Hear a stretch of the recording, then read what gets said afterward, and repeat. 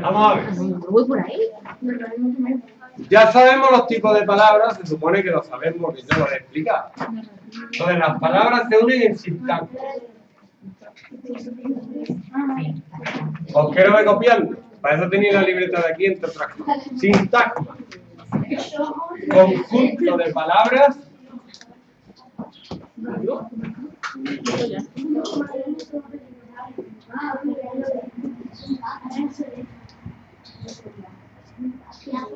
que desempeña una función.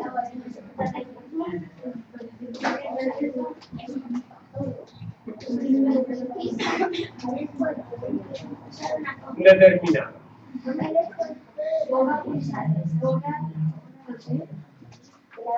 Hay, hay tres tipos. No. Nueve. ¿Cómo se reconocen los sintagmas de una Ah, no, oración? hay Por ocho. ejemplo,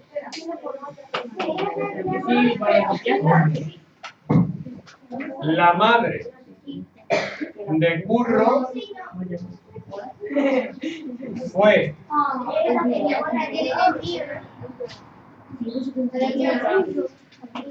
al cine con su marido.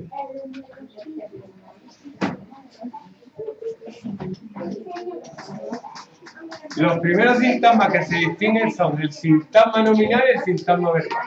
Ah, Sintagma nominal que hace función de sujeto. ¿Cuál es el sujeto ahí? La madre. ¿Cómo? La madre. Y el resto es el sintagma verbal. Ahora, en el sintagma verbal suele, suele haber complementos dentro, otros sintagmas. ¿Cuáles son? Tenéis que buscar unidades que se pueden cambiar de orden sin problema. Eh, repite, por favor. Unidades que se pueden cambiar sin problema. Que tenga sentido cambiarlo de orden. Por ejemplo, yo voy a decir, la madre de Curro fue con su marido al cine o al cine con su marido.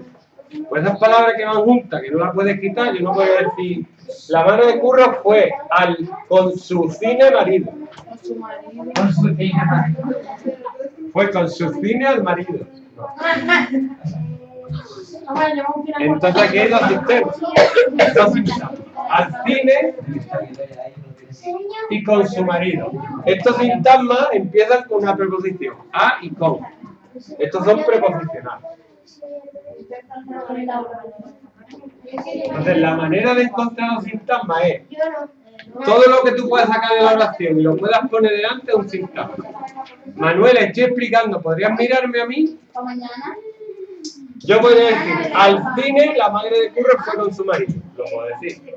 Con su marido la madre de Curro fue al cine, lo puedo decir. Todo lo que puedas transponer delante y queda bien es un sintagma. Sintagma qué? Sintagma nominal verbal. ¿Pre qué? ¿Predicativo? Preposi- pro- Preposicional.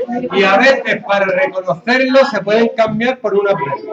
Por ejemplo, Ella. la madre de Curro, ella, un pronombre bien, es una previa, pero también por un pronombre.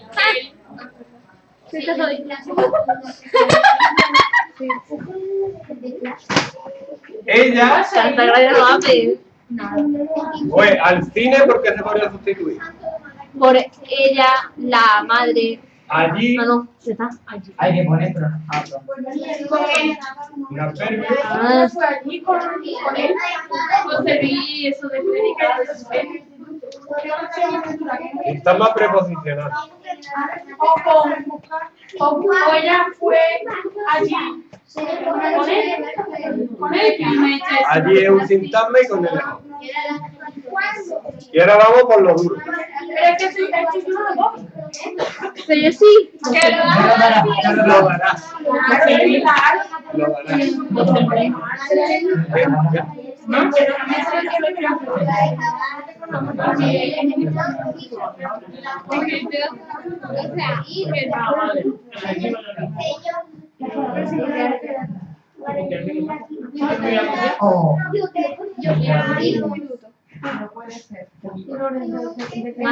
no. Que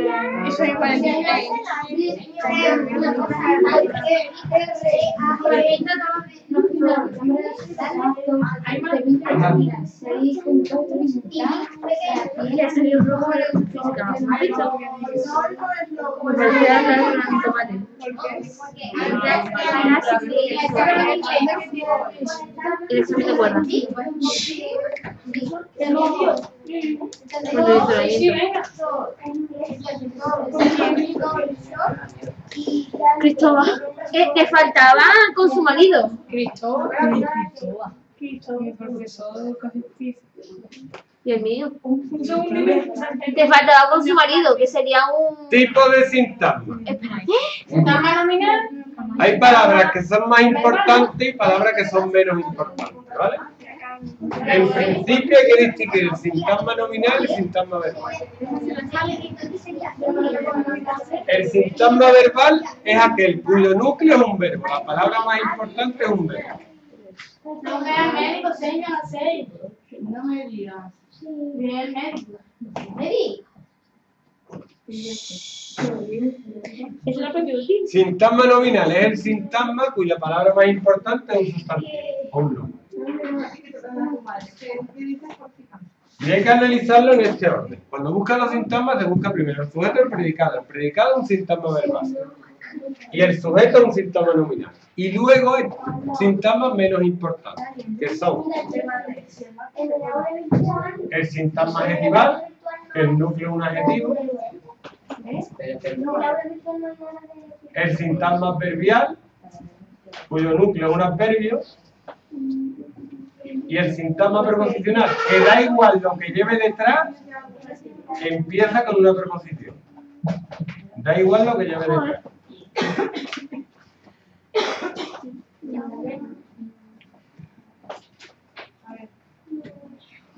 Entonces, ejemplo de sintagma nominal. Pues el sintagma nominal más simple que hay es un nombre. Por ejemplo, Paula. Yo. Un nombre. ¿Vale? Pero tú a un nombre le puedes poner por delante un artículo. Pues aquí una cosa. Ay, eso lo sabía. Que el sintagma, el sintagma profesional no, no empieza, sino que lleva. No lleva. Empieza. El gato. Es mono.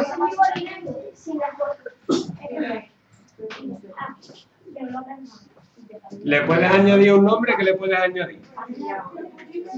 ¿Qué le puedes añadir un nombre? El gato. Para completar significado. Ve, Un adjetivo. El gato mono. Guapo, yo no sé pequeño, grande, chico, Bonito. azul. ¿Azul? Desde cuando hay un gato azul. Incluso se le pueden poner dos determinantes. Aquel otro gato verde. Qué guay, un gato verde. Más sustantivo, más adjetivo. Otro más. Otro más. Le pueden poner dos adjetivos, ¿no? Sí. Sí. Por ejemplo, El gato pequeño azul. Bonito. ¿Y por qué no se pone un. ¿un qué? Una preposición? El gato de Ana.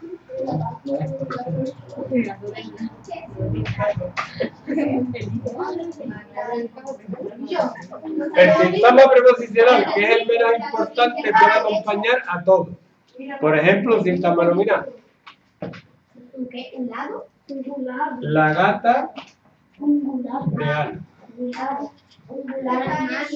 De Ana es un sintagma preposicional, pero esto no se analiza nunca por separado. Lo voy a ver 500 veces. Esto es un sintagma nominal que tiene dentro un sintagma preposicional.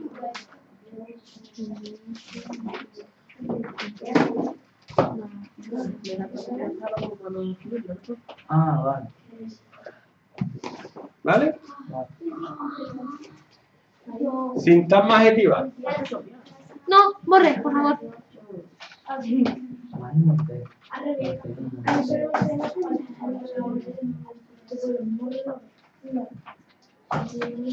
Ay,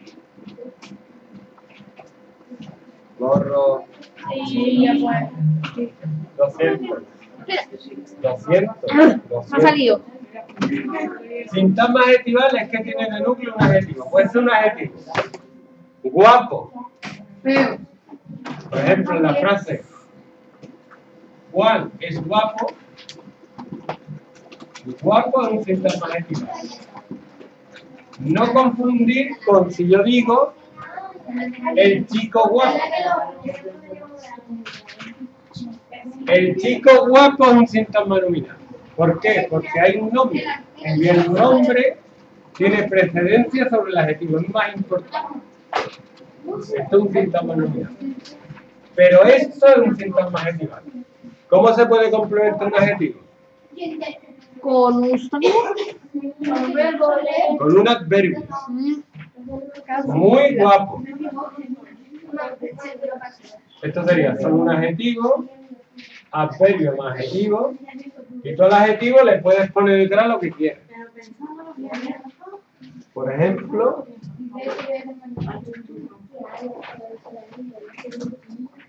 harto de estudiar.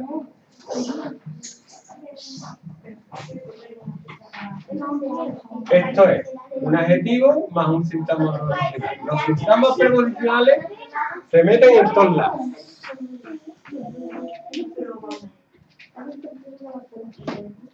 ¿Borro? No, ya.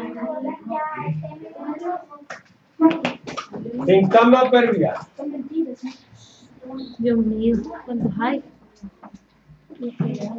Si fueran billetes de dinero, no quedaría dando. También.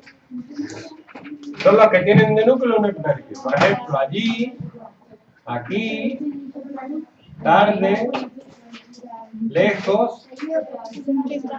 El núcleo es un adverbio. Luego, delante le puedo poner otro adverbio. Por ejemplo, llegaste muy tarde.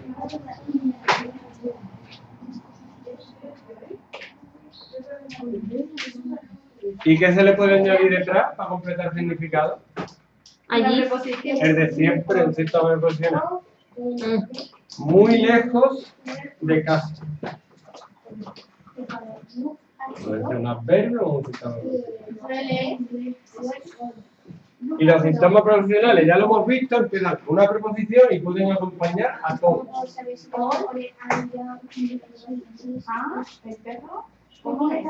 Carne con tomate, con tomate es un síntoma profesional.